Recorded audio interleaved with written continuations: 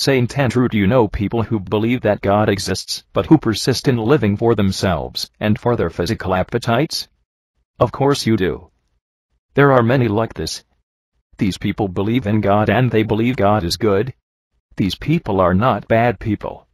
They do not rejoice in evil. I am referring here to a person who is on the side of goodness, but who could not be bothered working very hard for that side.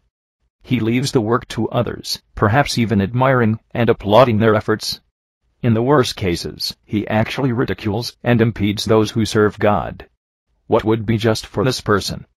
Let us consider. Because there is little self-sacrifice, there is little growth. Eventually, this life ends, and this person meets Jesus. This person has more failures in love than successes. There are many moments of failure in this life, because when the Lord needed this one to say no to self and yes to God, this person refused, and decided for his personal enjoyment. There is time squandered, and love squandered.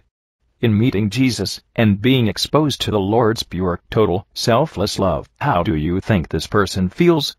Pause for a moment and think about this. Now, my friends, I have just described purgatory for you. Is it just and merciful that this person be allowed to see his life and his failures as well as his successes? Is it helpful to this person in terms of healing? Will each person benefit from the truth?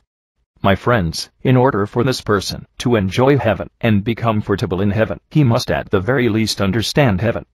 Unless the person examines himself honestly and repents, he will not be in a condition to grow Time in purgatory allows for this understanding and this growth.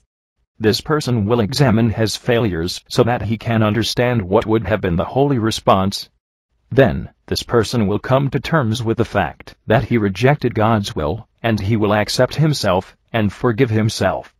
After that, he will be with others who have been purified in the same way, and he will experience fellowship, learning about tolerance and acceptance of the pain of others.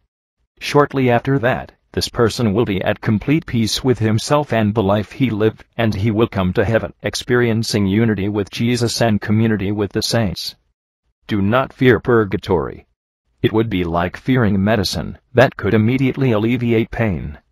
You would not fear such a medicine. You would take it with the greatest eagerness, and thank God for it. Think of purgatory in the same way. End of message.